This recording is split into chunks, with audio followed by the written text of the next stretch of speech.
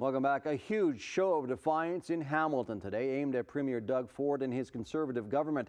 Hundreds of people rallied at Hamilton City Hall to oppose Ford's plans for new housing in the Greenbelt and farmland in the city, with a federal MP calling for a criminal investigation into the province's actions. Al Sweeney was at the rally and has the details. Save our For the fifth weekend in a row, protesters lined the streets of Hamilton to fight Doug Ford's housing plans. Stop the sprawl! Just stop, stop, stop! They're opposing Ford's plan to expand the city's urban boundary to allow new development and to take land out of the protected Greenbelt. We want our farmland! As many as 600 people took part in the protest, hoping to force Ford to back down. How are you well, the Ford government has backed down before when people have pushed back, so we're just going to keep pushing back. Hands off! Hands off! Hamilton NDP Member of Parliament Matthew Green called for a criminal probe into reports of Greenbelt land being sold to developers before being opened up for housing. We don't call that speculation. We call that corruption. And I am here to demand that there be a full and criminal investigation into the dealings of this Doug Ford government.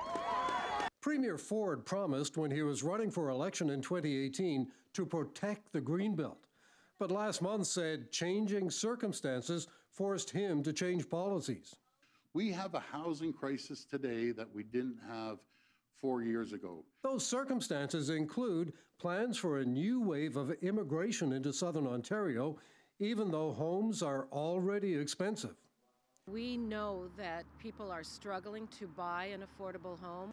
Hamilton Progressive Conservative MPP Donna Skelly says things will get worse if the government doesn't act. It would be a lot easier for all of us if we didn't have to uh, address what is now a housing crisis. But we have to take some bold initiatives, and we really believe that over the next 10 years, with with um, 1.5 million homes built across Ontario, the prices of homes will become more affordable. But Burlington's mayor says municipalities won't get development fees they need from developers under the new plan, and there's widespread agreement the government's bill is wrong.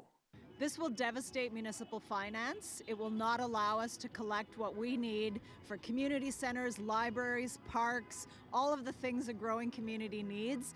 It is really a subsidy for developers and investors. Premier Ford has denied that any developers were tipped off before they bought Greenbelt land. Now, Member of Parliament Matthew Green suggests there are strategies the federal government could use to block the province's actions like overseeing environmental changes. Adam?